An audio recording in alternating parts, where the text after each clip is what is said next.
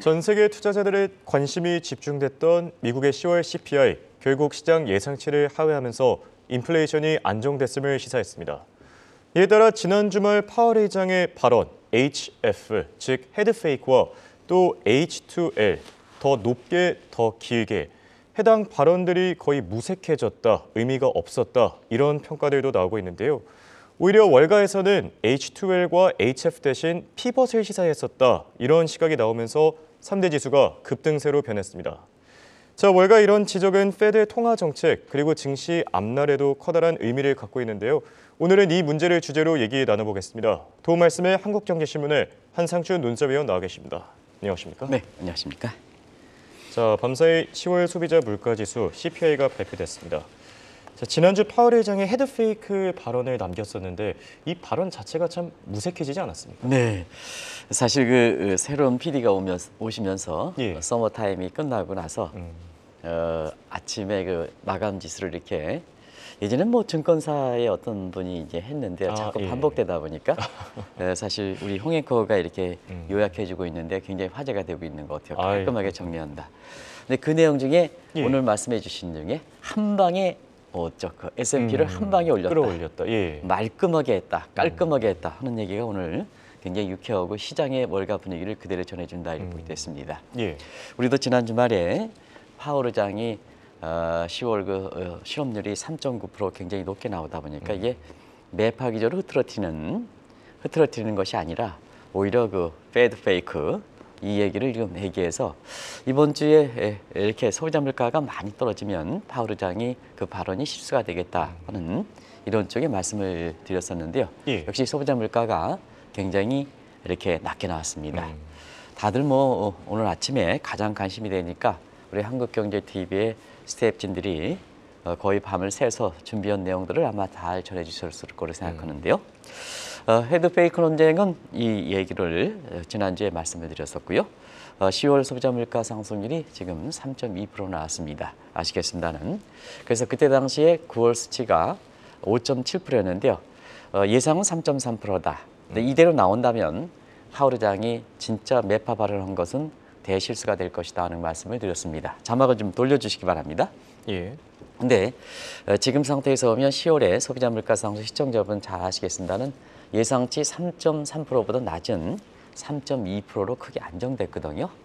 그리고 추세적으로 보면 어, 작년에 그 어, 6월 달에 9.1%에서 예. 올해 3월 어, 올해 6월 달에 3%까지 떨어졌죠. 그 인플레 재발효가 나왔었죠. 왜냐하면 7월 달 3.2%, 8월 달, 9월 달 3.7% 음. 재발효가 나온 상태에서 이번에 10월 달에 3.2%가 되다 보니까 사실 물가 재발 우려를 완전히 불식시켰다 이렇게 보게 됐습니다. 에, 결과적으로 보면 에, 파월 의장이 어, 그 어, head 어, head fake 발언 그리고 longer to higher to longer라 해서 소위 H2L 리스크 예. 이런 것이 월가에서 보면 우려가 잠식되면서 오늘 3대 지수가 큰 폭으로 올랐다 이렇게 보게 됐습니다. 예, 알겠습니다. 저 일각에서는 이런 얘기가 있습니다. CPI가 크게 안정되자 이미 미국의 물가는 목표치에 도달한 게 아니냐 이런 얘기들이 있는데요. 이런 시각은 왜 나오는 거죠?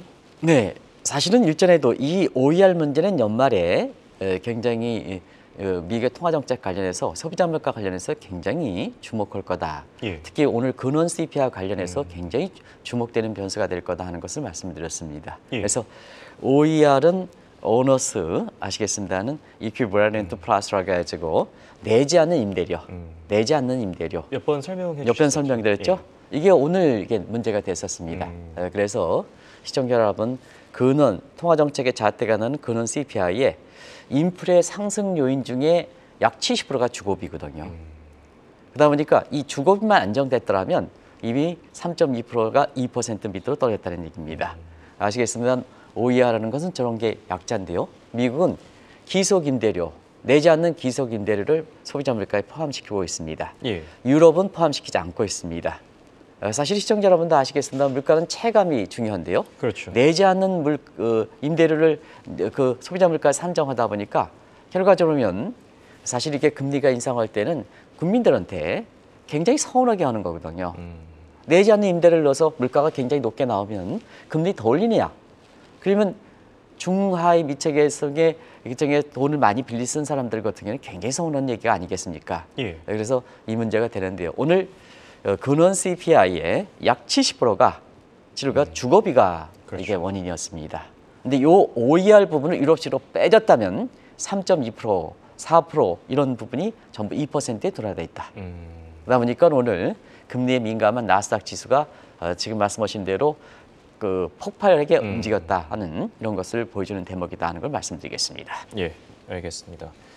자, 그리고 이런 논쟁도 있습니다. 미국의 물가가 이렇게 안정되고 있는 게 과연 페드와 파월의 어떤 뭐 금리 인상 효과인지 아니면 다른 요인 때문에 이렇게 안정되고 있는지 이 부분은 어떻게 생각하시죠? 오늘 물가가 의외로 크게 떨어지다 보니까 예. 자연스럽게 뭐 페드 인사들은 파월 의장 같은 사람들은 굉장히 공격을 당했지 않습니까? 음. 작년에 3월 달에 물가를 키워가지고 뒤늦게 갤러핑으로 올리는 상태에서 단기에 경제 주체에 대응하지 못할 정도로 빨리 오는 과정에서 예. 자, 그마저도 물가를 잡아야 되는데 물가 못 잡으면 당신들 쥐구멍에 들어갈 정도로 굉장히 비판을 받는 이런 상황 아니겠습니까? 근데 오늘 물가가 많이 떨어졌습니다. 그러다 보니까 파월이든가 Fed 인사 중에서는 봐라 우리가 금리 인상의 효과가 아니냐 음. 이렇게 하는데 오늘 물레어라는 사람이 아주 본인의 스스로의 인정을 하는 대목을 했었습니다. 예. 자, 금리 인상 효과 이렇게 해서 본인 자신이 가장 매파에 이렇게 됐기 때문에 금리 인상 효과를 얘기하기보다는 아직도 금리 인상, 금리 인상이 해일 부분이 많다. 인플레가 이렇게 완전히 잡히지 않았다. 하는 식으로 간접적으로 본인이 실수했던 것을 시사했습니다. 결과적으로 이 얘기가 왜 나올까 하는 측면은 예. 시청자 여러분 아시겠지만 금리 인상이라는 것은 demand pull side 경기가 과열돼서 인플레가 올랐을 때 이거 잡는 대책입니다. 음. 경기가 과열됐을 때는 금리 인상 완료, 대출 줄여, 소비 씀씀이 줄게 해, 물가 안정 이 대책이거든요. 예. 근데 어, 사실상 어, 지금 상태에서 보면 오늘 그 10월 달에 소비자 물가가 안정된 것은 앞자막입니다. 아, 앞자막입니다. 어, 안정된 것은 에너지 가격과 휘발유 가격 이건 한국경제TV에서 진단해 드린 적이 있습니다. 예. 유가가 많이 떨어졌다. 그래서 소비자 물가가 굉장히 안, 어, 굉장히 낮게 나올 거다. 그래서 파월의 발, 발언은 실수가 될 것이다 하는 이 측도 했는데요. 역시 유가 안정에 따라서 에너지 가격, 휘발유 가격이 안정되다 보니까 전형적으로 이 부분은 cost push거든요. 근데 금리 인상은 demand pull side 아니지 않습니까? 예. 그렇죠. 근데 이번에 물가가 안정된 것은 에너지 가격과 휘발유 가격이 주요인이거든요. 이건 cost push지 않습니까? 그래서 원인과 대책적 면에서 미스매치 서로 맞지 않는다. 그래서 어, 금리 인상을 잘했기 때문에 물가가 잡혔다. 이 대목은 잘못되어 있다 이렇게 보겠습니다. 거꾸로 예. 어, 사실 7월 이후에 미국의 기준금리 같은 경우에는 거의 동결해 가지고 왔는데요. 어, 국채 금리가 한 120bp 올랐습니다. 그래서 굳이 평가한다면 자 페드라든가 파월 장이 기준금리가 잘해서 하는 게 아니라 시장에서 투자자들이 국채 금리를 상승시켜서 음. 긴축 효과 때문에 결과적으로 보면 금리 인상 효과를 굳이 따진다면 음. 파월과 페드가 잘한 게 아니라 시장에서 잘했고 투자자들이 잘했다 이런 평가들이 오늘 나오는 것도 파월과 그 다음에 페드의 인사들이 지금 어느 위치에 있는가 하는 것을 시청자분이 단적으로 보실 수 있는 대목이지 않냐 하는 생각이 듭니다. 이번에 물가가 안정된 것은 푸시 사이에 유가 안정, 에너지 가격 안정, 그 다음에 사실 그 휘발유 가격 안정, 음. 여기에 주거비도 공급 측 요인이고요. 이것마저도 안정되면 이미 물가는 목표치 2%대에 도달했다. 이렇게 평가가 나온다 이렇게 보이됐습니다. 네.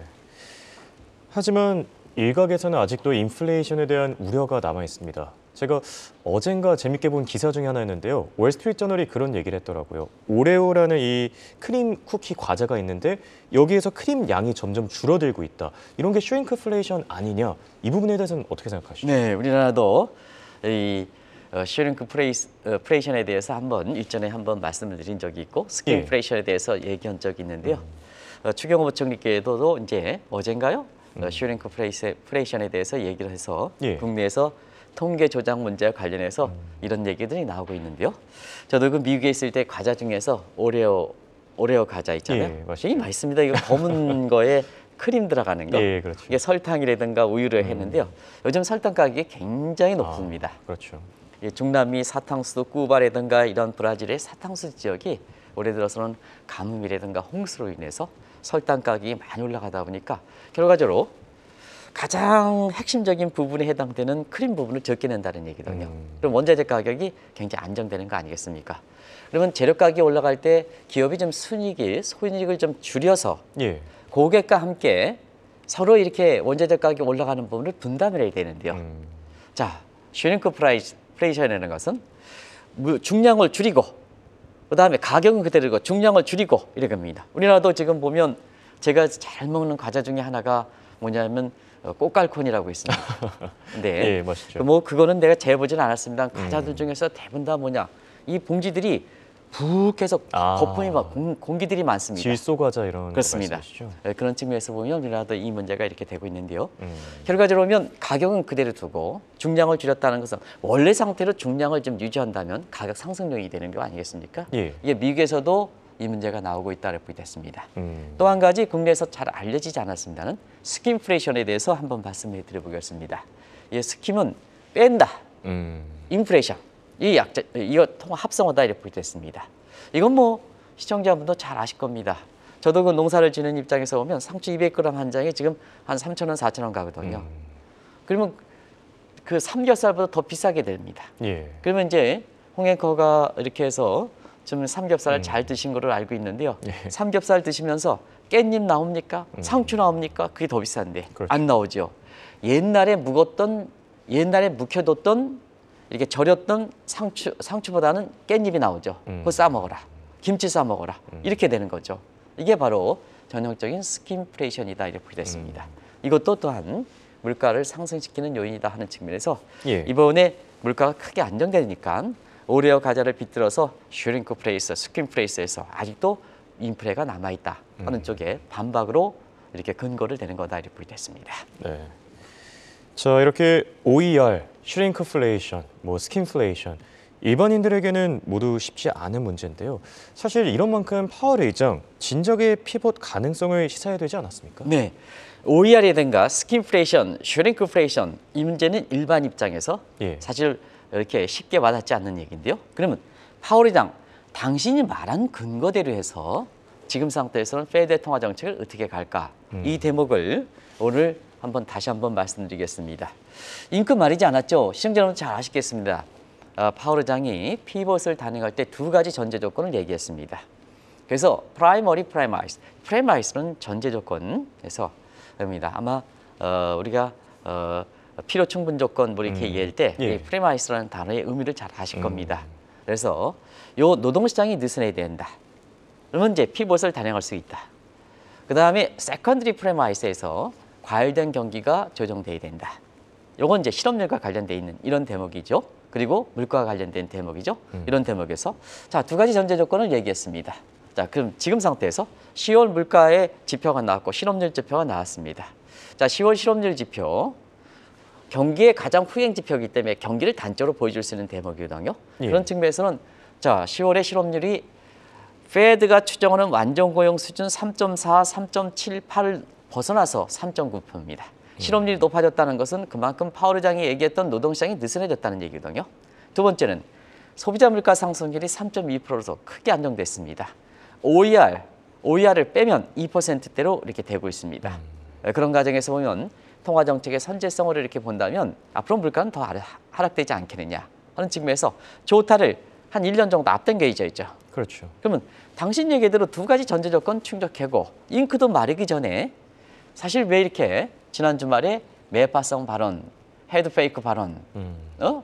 이 발언을 했겠느냐 하는 측면에서 우스갯 얘기합니다는 너무 명확하고 지금 지난주 목요일 미국 시간은 목요일인데 자 지금 시간으로 미국 시간은 화요일이다 보니까 결과적으로 잉크 완전히 마르지 않았죠. 예. 그러면 파월 의장이 Fed 입장에서는 저, 저 정도의 CPI가 내일 모레 발표되는데 이걸 모르고 있었을까? 그렇죠. 모르고 있었다면 예측력이 떨어지는 거죠. 그만큼 본업을 충실하지 못하는 거죠. 내일 모레 발표되는 걸 대충 근접처를 갖고 있어야지 페드장이 기자회견, 자기 책임자가 기자회견 하는데요. 음. 3.2% 크게 떨어지는데 모르겠습니까? 그러면 몰랐다면 예측력 문제예요. 음. 알았다면 당신은 뭐냐? 결국 치매 걸렸다. 아. 치매 걸렸다. 이런 얘기가 나오는 거죠. 현장 분위기다. 그게 시장의 지금 분위기다. 이렇게 보여지겠습니다. 오늘도 Fed 인사들이 어떻게 보면 defense성의 어, 이렇게 그렇죠. 비둘기 어, 매파 반응을 했지만 시장은 강하게 올라가는 건 그만큼 파워, Fed 인사라든가 파월 의장이 시장에서 신뢰를 잃었다 이렇게 보시면 되겠습니다. 네.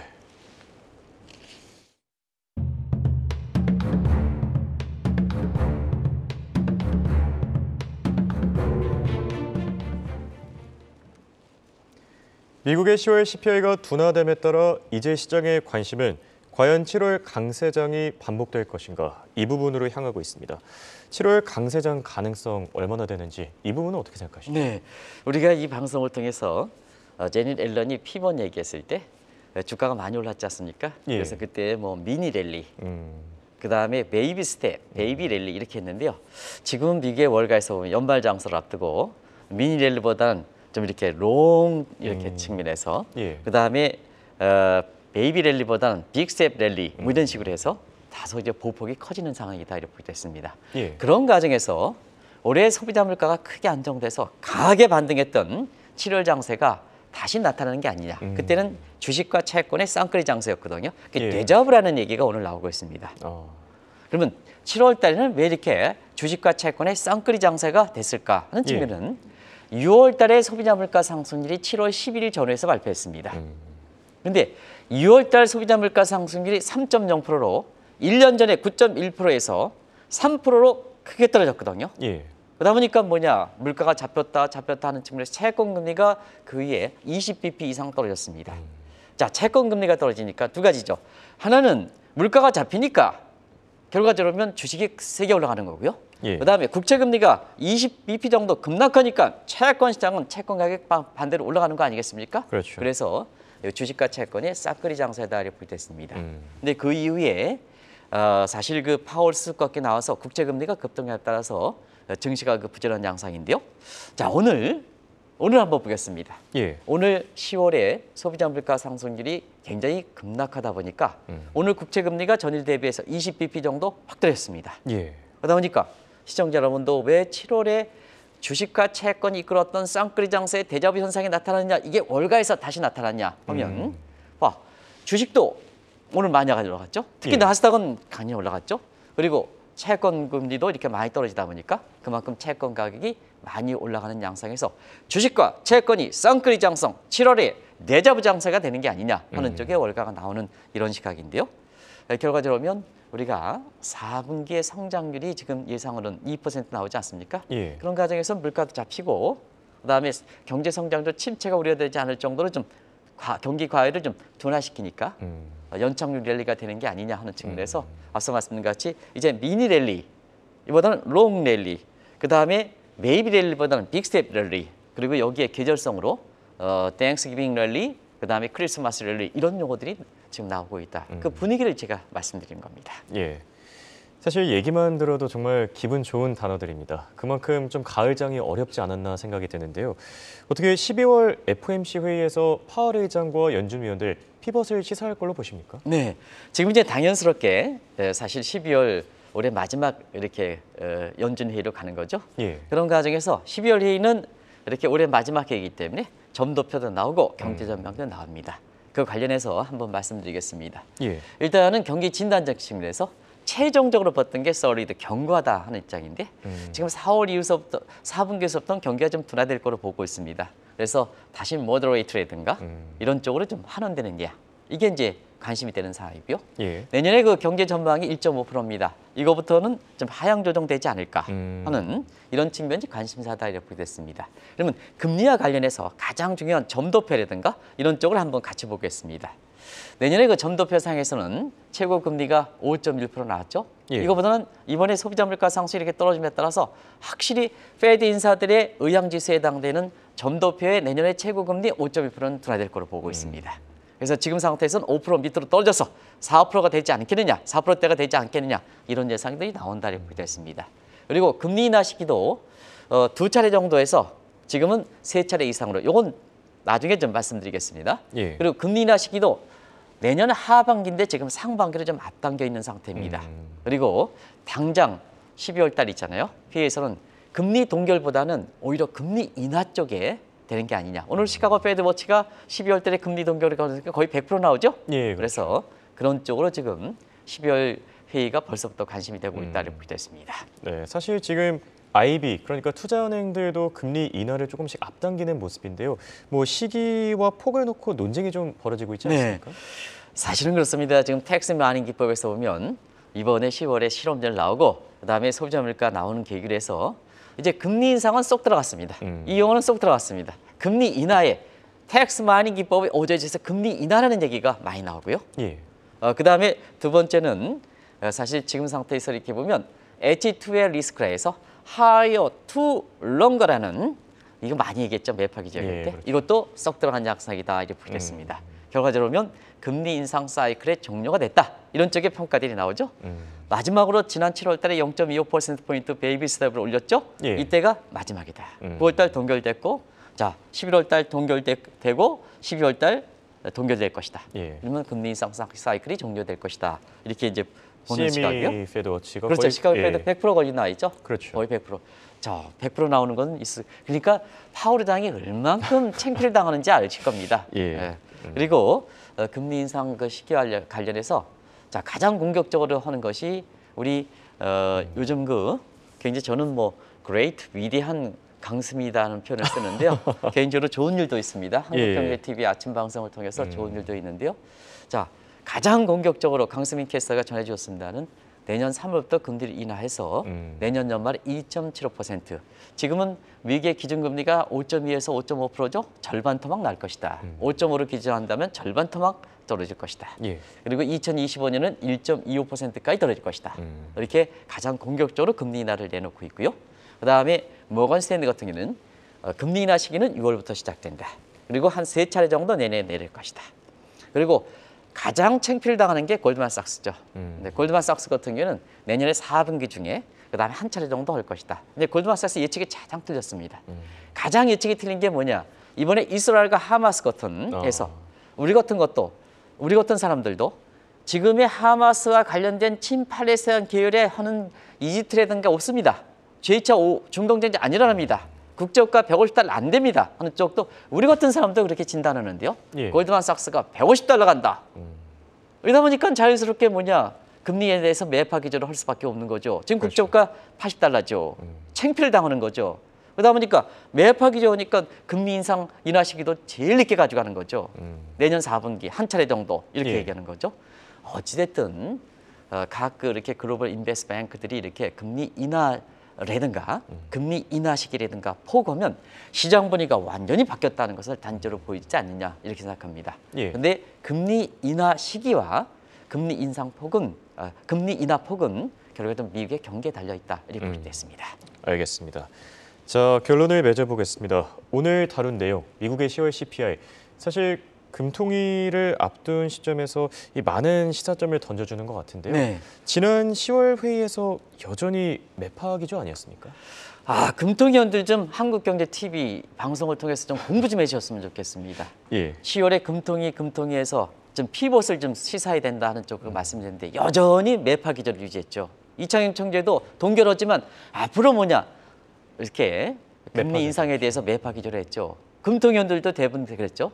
그런 상태에서 이번에 10월 소비자 물가, 소비자 물가 이렇게 나온 걸 기점으로 해서 예. 각국의 통화 정책 기조가 어떻게 바뀌는지 음. 이걸 한번 보실 필요가 있다 이렇게 말씀드리고 이제는 환경이 과거와 같지 않습니다. 예. 또 페드만 쫓아서는 안 됩니다. 음. 근데 이청재한테 꼭 말씀해 페드 쫓아가면 안 됩니다.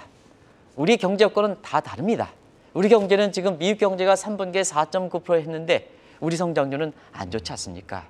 왜 쫓아갑니까? 우리 입장대로 독립성 있게 가져가야죠. 그래서 제가 말씀드리기 전에 제3의 통화정책 방안을 좀 강구해 주셔야 된다. 음. 금통위원들이 연봉을 높게 받는 게 뭐냐? 국민 세금 가지고 높게 받는 게 열심히 공부하셔야죠. 근데 종전에 공부했던 이론이라든가 규범이 통하지 않으면 한국경제TV 방송을 열심히 보셔야죠. 저희들은 뭐냐? 밤새도록 오르고 어떤 날은 있잖아요. 시청자분이 10월에 소비자 물가 상승률이 굉장히 관심이 되기 때문에 거의 밤을 셉니다. 검을 밤을 셉니다. 이렇게 해서 전해지니까 진짜 현실 공부 좀 많이 하십사 하는 것을 말씀드리겠습니다. 예. 그래서 우리 국민들의 피부에 와닿는 와닿는 통화 정책을 좀 강구하실 것을 꼭좀 권해야겠습니다. 지금 상태에서 매파에서 금리를 조금 더 올리면 우리 MZ 세대라든가 우리 소시민들 나가 떨어집니다. 연말 앞두고 나가 떨어집니다. 그나마 최근에 어, 공매도 금지라든가 해서 우리 소액 투자가 좀 그리고 양, 대주주 양도 차익 문제라든가 이런 것 좀 대폭 좀 올려주시기 바랍니다. 예. 모처럼 뭐냐 좀 연말에 좀 주가가 올라가야지요. 이 어려운 환경에서 그렇죠. 버틸 수가 있으니까 아니겠습니까? 그런 걸 좀 그게 바로 국민을 생각하는 통화 정책, 국민을 생각하는 증시 정책입니다. 그걸 좀 꼭 좀 강조해드리겠습니다. 알겠습니다. 지금까지 도움 말씀을 한국경제신문의 한상준 논설위원이었습니다. 대화 고맙습니다. 네, 고맙습니다.